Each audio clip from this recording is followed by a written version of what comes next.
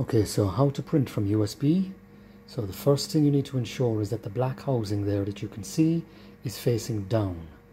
That's usually a color blue as well. Can you see that black housing there inside the metal? So just place it into the USB port, press the power button to switch on.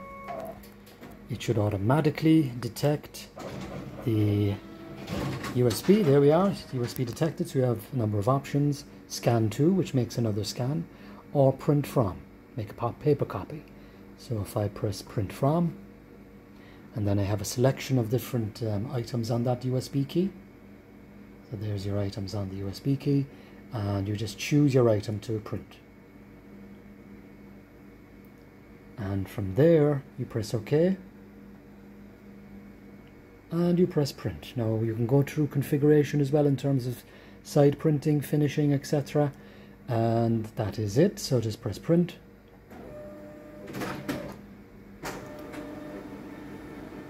And wait a few seconds. And the print will pop out on the right hand side. Thank you for watching.